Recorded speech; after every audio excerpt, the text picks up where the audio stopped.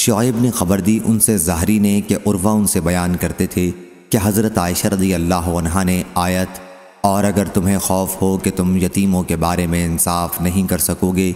तो फिर दूसरी औरतों से निकाह करो, जो तुम्हें पसंद हों।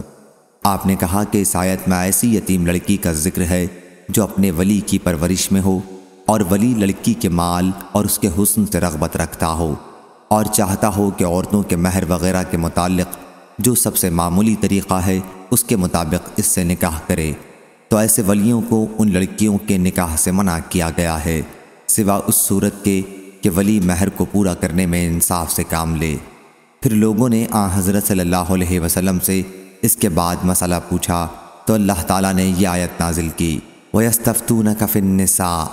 और लोग आपसे औरतों के बारे में मसला पूछते हैं और इस वाक़े का ज़िक्र किया। सही बुखारी हदीस नंबर छः हज़ार नौ सौ पैंसठ।